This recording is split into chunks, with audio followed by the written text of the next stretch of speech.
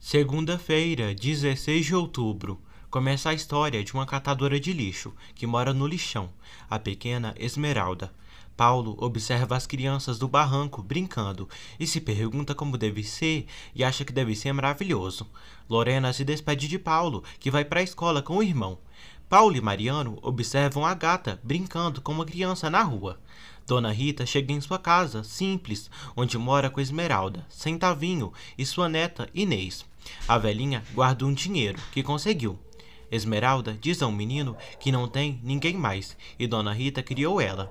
Esmeralda começa a trabalhar, pedindo esmolas na rua o resto do dia.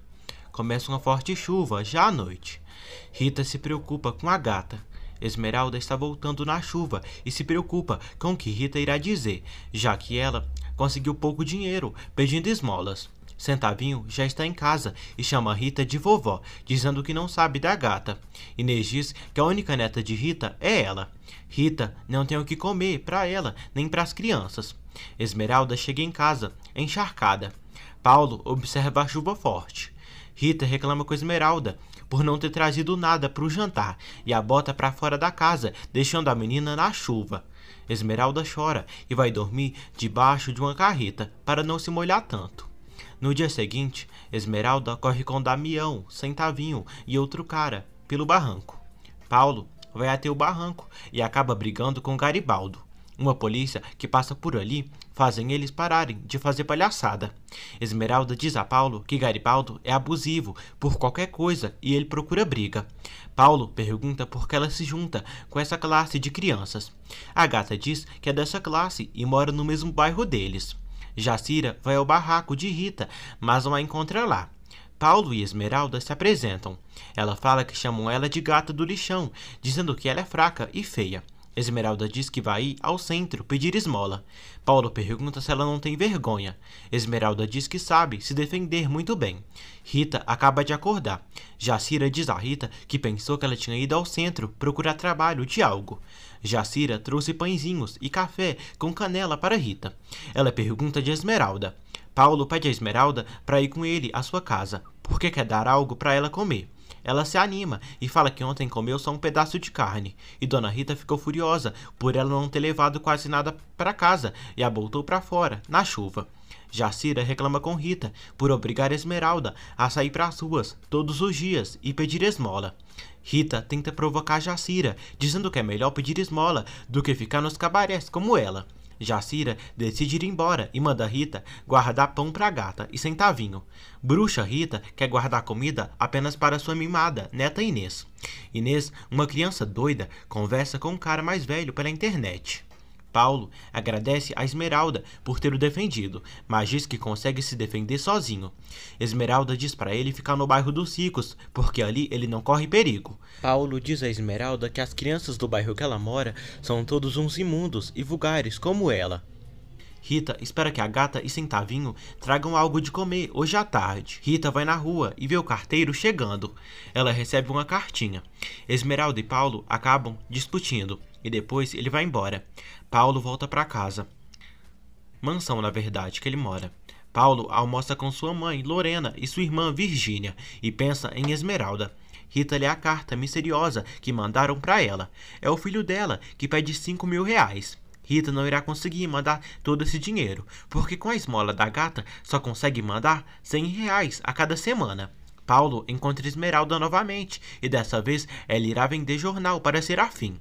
Paulo pede perdão à amiga e pede para ir à sua casa com ele. Jacira chega à casa de Rita com tomates para ela. Jacira vê Rita guardando o dinheiro na carteira e sabe que é para mandar para Bebeto filho de Rita. Paulo diz a Esmeralda que ela é preparada, boa e merece algo melhor do que tem. Não ser uma menina que fica por aí pedindo esmolas. Paulo diz à amiga que se ela for com ele na sua casa, dará para ela bolo, leite e roupa. Rita diz que juntou aquele dinheiro com muito sacrifício. Jácera diz que é sacrifício da gata e do centavinho, que passam o dia todo pedindo esmola para ela guardar para o filho dela. Paulo acompanha Esmeralda, vendendo jornais nas ruas. Rita diz a Jacira que aquele dinheiro guarda com muito sacrifício para pagar o aluguel do barraco. Jacira chama Rita de víbora, mal agradecida e abusiva, exploradora de menores. Jacira não acredita no conto do aluguel e sabe que a bruxa vai mandar dinheiro pro preguiçoso do filho dela. Paulo diz à gata que é filho de família. Esmeralda diz que ele é sortudo demais. Paulo diz que não pode dar muito para ela, porque o dinheiro são dos seus pais. Paulo decide sair para pegar algo para Esmeralda em casa. Ele leva ela com ele. Lorena está em casa, cuidando das flores, com o jardineiro. Paulo deixa Esmeralda lá embaixo, esperando por ele, e vai para dentro da casa. Lorena vê Esmeralda ali e pergunta o que ela quer. Esmeralda diz que está esperando Paulo. Lorena manda ela ir embora porque não vai tolerar que seu filho se junte com gentinha da classe dela. Lorena ofende Esmeralda e ameaça caso não for embora dali. Esmeralda acaba indo embora. Lorena volta para casa. Paulo já não encontra Esmeralda no quintal e se preocupa. Paulo pergunta à mãe se não viu ninguém ali. Ela diz que não. Esmeralda volta pro lixão. Jacira pergunta o que ela tem. Esmeralda diz que outra velha implicou com ela, dessas velhas ricas, bem vestidas, diferente de Dona Rita. Paulo volta para o seu quarto e de lá observa o barranco e se pergunta onde Esmeralda está, para onde foi. Esmeralda diz a Jacira que a culpa é delas, porque se rebaixam, dizendo que são mortos de fome, e chamam ela de gata do lixão. Jacira diz que o que elas dizem não é o mesmo que fazem. Paulo pede que Omar o leve no barranco. Omar tem medo da mãe dele descobrir e ser demitido. Paulo não entende porque Esmeralda foi embora. Jacira diz a Esmeralda que ela é uma menina e pode se salvar disso e merece mais na vida. Esmeralda diz que Paulo disse isso para ela. Jacira diz que ela é muito linda e algum dia alguém descobrirá a cara bonita dela. Esmeralda diz a Jacira que quer ganhar dinheiro como ela. Jacira abraça e não quer que Esmeralda tenha o mesmo destino que ela e que trabalhe num cabaré. Já está tarde e Paulo olha novamente pela janela e não vê Esmeralda. Ele coloca algumas coisas na sua bolsa e sai para procurar a moça. Paulo pede à mãe para ir ao barranco, estudar e escrever. Lorena se enfurece e diz que não. Esmeralda segue trabalhando, pedindo esmolas na rua e consegue bem pouco dinheiro. Lorena diz a Paulo que tem medo dele fazer amizades com essa gentalha que vive do outro lado do barranco. Virgínia diz à mãe que as pessoas humildes são iguais a eles. Paulo insiste para a mãe deixar ele sair. Lorena diz que o barranco é um lugar espantoso. Ela não aceita que ele vá para lá. Lorena recebe uma ligação de Eugênia e sai. Virgínia diz a Paulo que pode ajudar ele a escapar sem sua mãe se dar conta. Paulo vai ao barranco com a bolsa nas costas e chama por Esmeralda. Esmeralda está em cima de uma árvore e joga pedrinhas nele para encontrá-la. Virgínia diz à mãe que Paulo foi para o quarto ler e desenhar. Paulo grita por Esmeralda. Ela sorria. Paulo sorri ao vê-la em cima da árvore. Mariano pede dinheiro à mãe para ir no cinema. O mimado queria um carro, mas Lorena fala da idade dele, dizendo que na casa tem chofé. Ele diz que o chofé que sempre está ocupado com a cega ou seu irmão. Lorena pede que ele não diga isso da irmã dele. Virginia diz que prefere ser cega do que uma pessoa como ele. Paulo pergunta a Esmeralda o que fez para ela. Esmeralda diz que ele nada, mas a mãe dele a expulsou da casa. Paulo diz que não tem culpa. Lorena diz a Mariano que em vez de perder tempo com as garotas, ele deveria estudar, porque as notas dele estão baixas. Lorena dá mil reais pro mimado do filho e pede que ele não peça mais. Mariano sai. Virgínia diz à mãe que Mariano está saindo do controle e quando se tornar uma pessoa má, será tarde demais. Lorena diz que ela está exagerando porque o irmão dela tem um humor muito forte, mas não é mau. Augusto volta para casa. Lorena estranha por ele ter chegado cedo.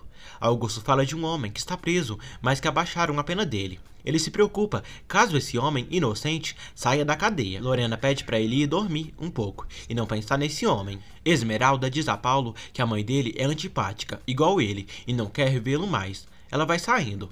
Paulo pede que ela não seja grosseira, mas ela sai. Lorena vai ao quarto de Paulo e não o encontra. Ela olha pela janela e vê ele no barranco. Virgínia diz à mãe que Paulo saiu sozinho para o barranco. Lorena pede que Omar a leve até lá. Lorena chama Esmeralda de desgraçada e pergunta onde está o seu filho. Esmeralda se assusta com Lorena. Jacira pergunta a Garibaldo de Dona Rita. Garibaldo diz que ela foi no terminal de ônibus levar Inês para o negócio da escola e ela volta amanhã. Rita chega ao bairro. Jacira diz a Rita que ontem aconteceu uma rebelião na cadeia e o filho dela fugiu. Rita fica surpresa. Virgínia pede que a mãe não brigue com essa menina. Lorena pergunta de Paulo. Ela diz que ele veio se despedir e se mandou pro casarão. Lorena reclama pelo modo feio dela falar. Virgínia pede que a mãe não ofenda Esmeralda. Lorena diz a Esmeralda que se voltar à vila, perto de seu filho, fará com que levem ela pro orfanato, porque ela não deve ter pai, nem mãe. Esmeralda fica triste.